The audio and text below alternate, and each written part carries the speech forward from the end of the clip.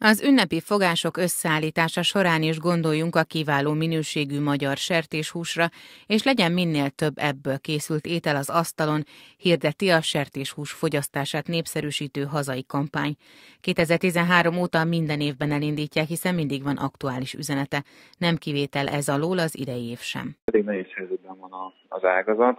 Egyrészt tehát a, a, az idei kampányunknak ez az egyik fő témája, hogy segítsük a termelőket és az ágazatot ebben a helyzetben, amikor hát egy olyan járványok sújtotta helyzet állt elő, ami mind a termelési költségeiket, mind pedig a, a követelményeket megnehezíti a számukra. Gondolok itt arra, hogy mind a koronavírus, mind pedig az afrikai sertéspestis vírusa jelen van Magyarországon és a szektor sújtja. Elsősorban a sertés-pestis miatt a termelők jó része olyan nehéz helyzetbe került az elmúlt hetekben, hogy önköltség jár alatt, vagyis vesztességgel értékesítik a sertést.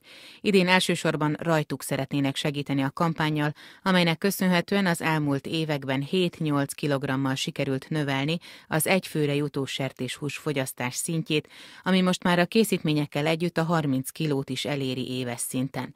A sertés egyébként is lényeges részét képviseli a hazai húsfogyasztásnak, a baromfi mellett ez a másik legnépszerűbb. Az általunk megkérdezett kereskedő szerint a kereslete is mindig attól függ, hogyan alakul az ára a baromfiéhoz képest. Mivel jelentős árcsökkenés egyiknél sem volt az elmúlt időszakban, a vásárlók igényeit illetően sem történt számottevő elmozdulás.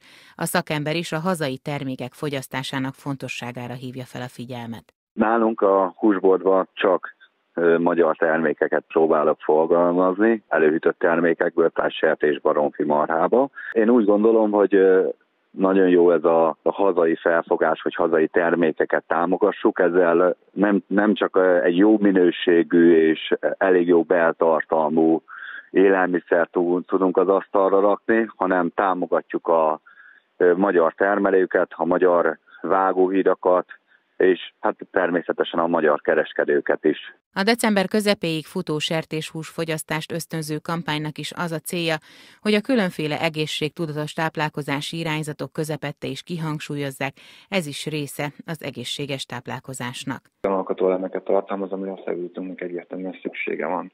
Például a B-vitaminokat lehet itt említeni, tehát B1, B2, B5, B12 vitamint szép számban tartalmaz a sertéshús, vagy azt is mondhatom, hogy kiváló fehérje forrás, illetve olyan eszenciális zsírsavakat, aminosavakat is tartalmaz, amelyeket a szervezetünk önállóan nem képes előállítani, tehát ezt mindenképpen a, a táplálkozással kell bevinni, és még egy fontos dolgot hadd emeljek ki, ez pedig a vastartalom, emiatt is fontos a sertéshús fogyasztás, hiszen olyan ásványanyagokat tartalmaz, mint például a vas, a kálium, a kálcium, a cink, amik szintén nélkülözhetetlenek az egészséges működésünk érdekében.